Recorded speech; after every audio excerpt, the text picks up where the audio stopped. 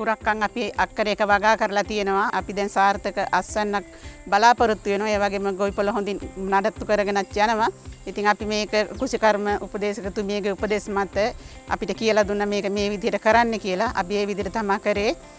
අපි යලකන්නේ කුරකං වගාව කරේ කුඹුරු ඉඩන් යටතේ මේ පලාතේ මේ පළුගස්සව කුෂ්කන ප්‍රදේශ කොටසේ වැඩිපුරම කරන්නේ කුරක්කං විසිරුවලා වගා කරන එක තමයි කුරක්කං වැපිරීම කියලා අපි හඳුන්වනවා. නමුත් අපි මෙතනදී ආදර්ශනයක් විදිහට අපි අක්කරයක ප්‍රමාණයක කුරක්කං පැල සිටීම කලින් තවන් දාලා පැල සිටීම සිදු කරා. මේ කුරක්කං පැල සිටීම මගින් අපිට හොඳට පැල අතර පරතරය පවත්වා ගන්න පුළුවන් වෙනවා.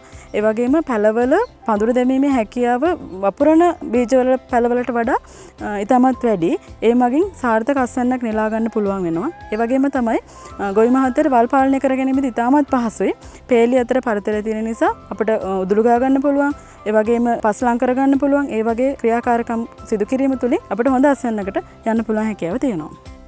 සාමාන්‍ය සාම්ප්‍රදායිකව කුරහන් වපුරණ එක කරන්නේ හැබැයි අපි අත්ත දබැලි මකරීට කුරහන් තවන් කරලා පැළගලවලා හිටෙව්වා ඒක ඉතාම සාර්ථකයි. කරල් කපන්ඩ කපන්ඩ ඒක අතුදාලා තව කරල් එනවා. ඒක නිසා මාස දෙක තුනක්ම මේ වගාව තුළ කුරහන් අස්වන්න ලබා ගන්න පුළුවන්. වපුරලා ගන්නකොට එකවරක එක කරලා එක ගහගෙන්නේ හැබැයි තවන් කරලා හදාගන්න එකේ මාස තුනක් විතර යනකම් අපිට කුරහන් කරල් කප කප අපිට අස්වන්න නෙලා ගන්න පුළුවන්.